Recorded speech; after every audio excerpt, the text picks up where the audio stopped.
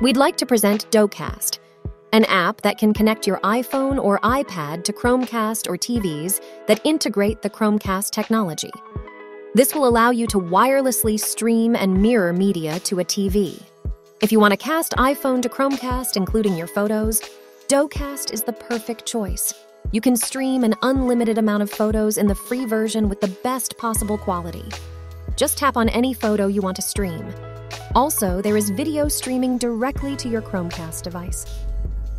You can play any video from the gallery, which you can pause and navigate with the timeline.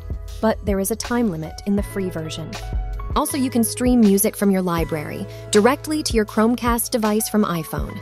It works with Apple Music and their playlists and albums. You can listen all DRM free content even in a free version.